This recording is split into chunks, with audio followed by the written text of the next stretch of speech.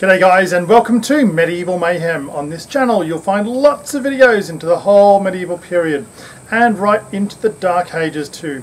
Primarily we focus on the 10th, 11th and 12th centuries but we cover a lot of other time spans too. You'll find lots of uh, videos which do reviews into other people's gear. You'll find lots of DIY videos into costuming, into furniture. You'll find cooking videos and you'll find analysis of events, how things turned out the way that they did, who was involved, what happened.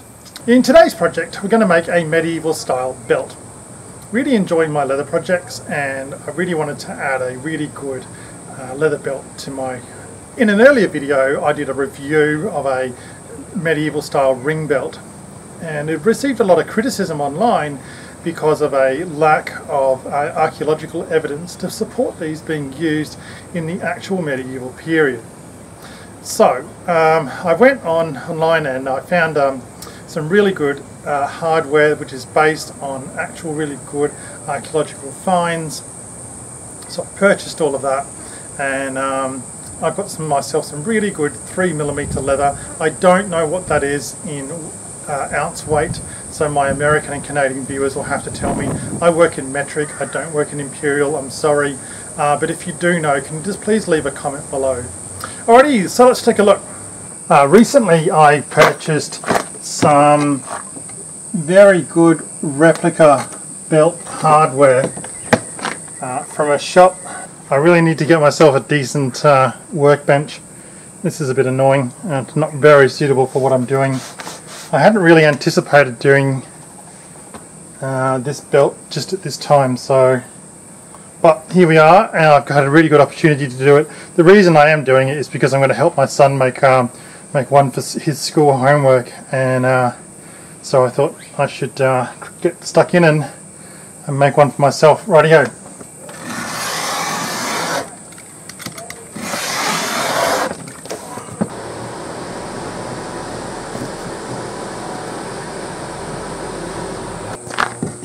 We're going to bevel down both sides of the belt, front and rear. It's going to make it look really nice and give it a really good polished sort of look to it. I realise uh, hasn't quite come out as well as I'd hoped. That's okay. It's a belt, it's a functional tool and for someone like me it's, it's fine it's uh, very rewarding to make some of this kind of stuff for yourself. We know that during the medieval period, pretty much anything that didn't have a heartbeat was decorated. So, if you take examples of, and some of the best examples were found on the Mary Rose, the, uh, the shipwreck, but um, so much stuff was, was beautifully decorated and quite possibly by the individuals themselves who were using that kind of gear. I find that kind of thing really genuinely fascinating. Alrighty.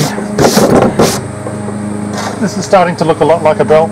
Next step on this one is going to be uh, to do the, uh, the tooling. You need to wet the leather. You don't need to make it super super wet. It is a fairly humid day here in Brisbane so I got some light markings on my uh, plywood. And I'm using a pattern which is based off uh, one of the finds out of the Mary Rose. But I uh, really like this pattern. And it, uh, it comes out really well when it's antiqued. It Doesn't cost a great deal of money to build up a bit of a good toolkit for leather work and you can buy leather I think fairly inexpensively given that it's such a great uh, you know an hour, an hour or two of time and you can have such a really great little project. And the satisfaction of knowing that you've made it yourself it's nobody else's. You didn't have to pay a fortune for it we go. Here's my little pattern based off the uh, the Mary Rose finds. It's come out really well. Let's uh, let's get a bit more done. So you might find you have to keep wetting your project. You do need to be a little bit kind of, I guess, prompt with what you're doing um, because the more you wet your leather uh, you can actually risk damaging it so uh, just something to bear in mind. I don't think you need to get too hung up on it but uh, you do need to be a bit decisive when it comes to this kind of thing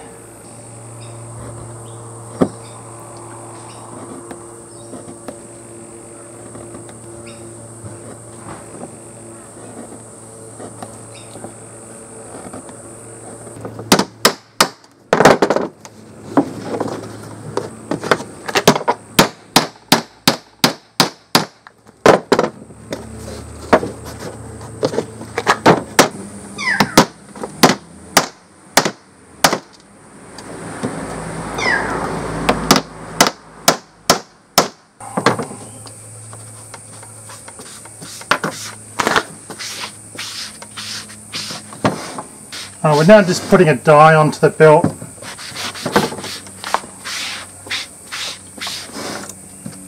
This is a saddle tan colour.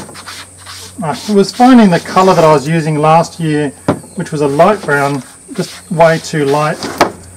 And I wasn't really getting the results I was looking for. You may need to put on a couple of different coats, that's fine. Wow, I nearly forgot. Uh, I almost didn't put this stuff on, or at least include it in the video. So what we're now going to do is put on a clear leather sealer. This is basically like a, um, a varnish. Its purpose is to protect the leather from UV light, rain, kind of stuff.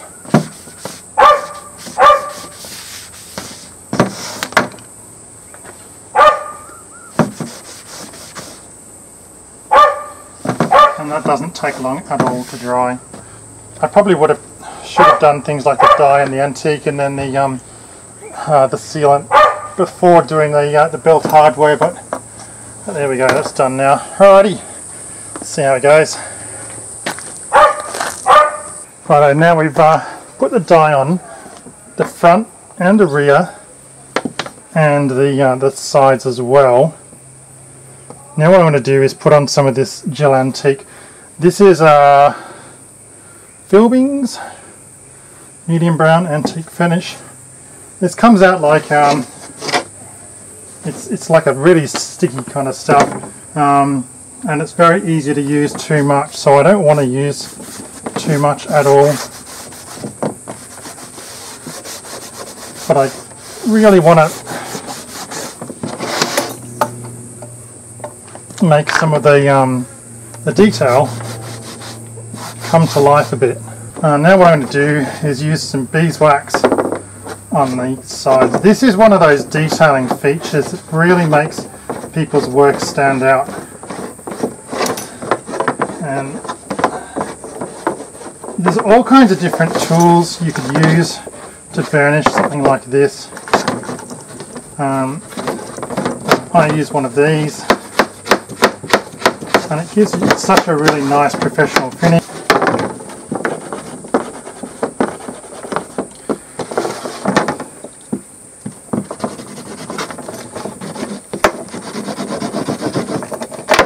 Now, a couple of interesting points here just before we come to a finish.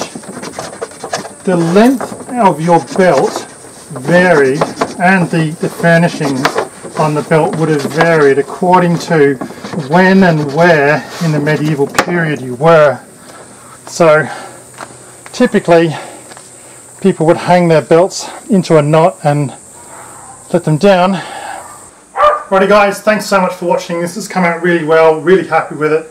It's, uh, it's a really good solid piece of kit and I'm going to be using it a lot this year. So looking forward to it. Really enjoyed making this project. I really hope you've enjoyed watching the video. Please like, subscribe and share and I will catch you in my next video.